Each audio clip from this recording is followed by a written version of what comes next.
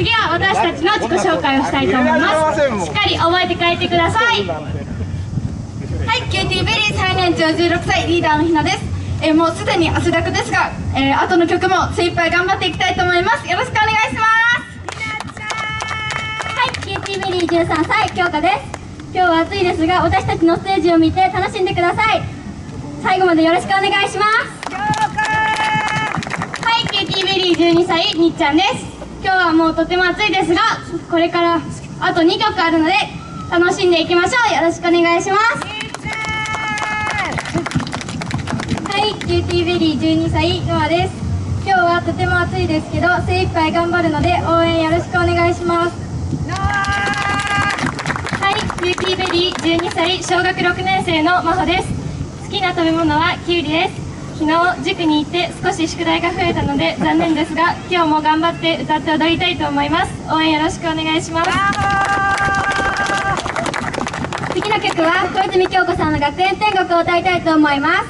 キューティーベリーバージョンなので曲の途中にちょっとしたオリジナルが入っています。もしよかったら皆さんも一緒に楽しんでいきましょう。それでは聴いてください。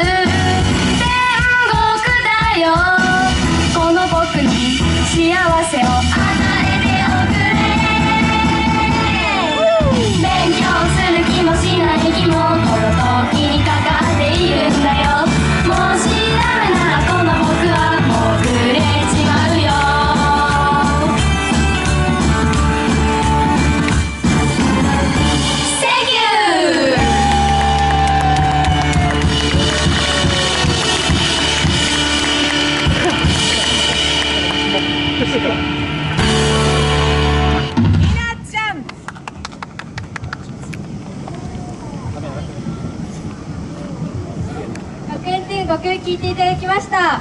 続いての曲はキューティーベリーオリジナル曲の「ハピベリ」です。歌ってる途中に皆さんにやってほしいことがあります。手をグーにしてつなげて脇を締めて丸の形を出してください。この形はベリーの形を表しています。では聞いてください。前ま